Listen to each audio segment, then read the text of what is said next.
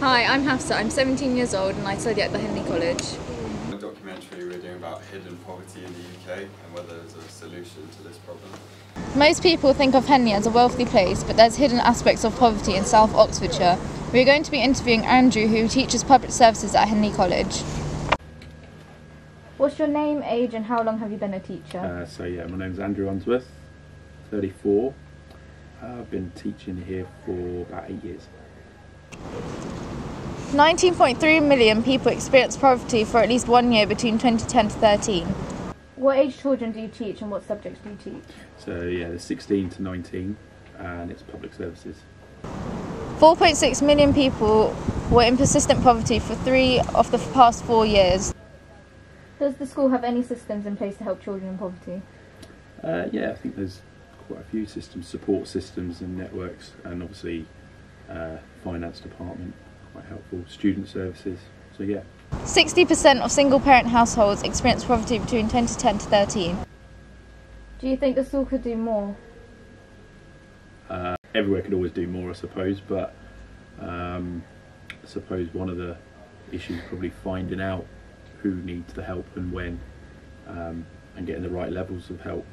Um, yeah, I mean, it only takes however long to get to know the students if it's not all sort of documented before, and obviously students that come to college come from what, 50 different schools or whatever. We get to know you in sort of five or six weeks or even longer. Um, it's going to take time, isn't it? So yeah.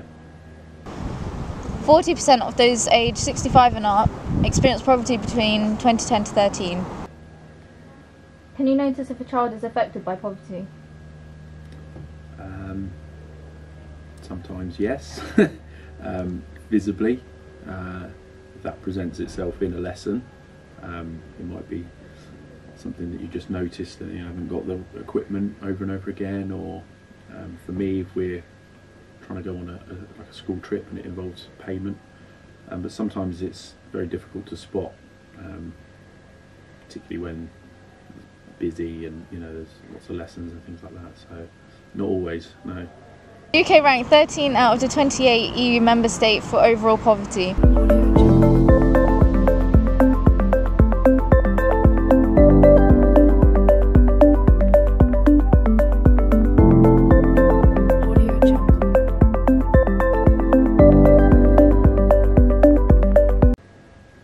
Do you know how many children in the school are affected by poverty? Not accurately, no. Probably more than I think.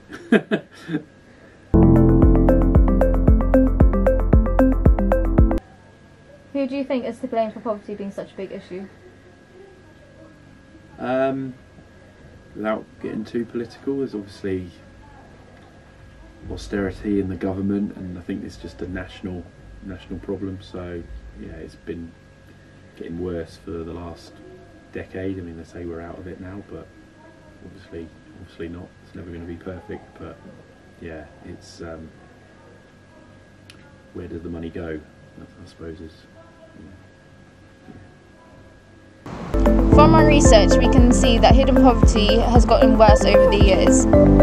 Poverty has such a huge effect on millions of people every day. Basic necessities are needed that aren't available to a lot of people out there. If you have the chance to help, please do.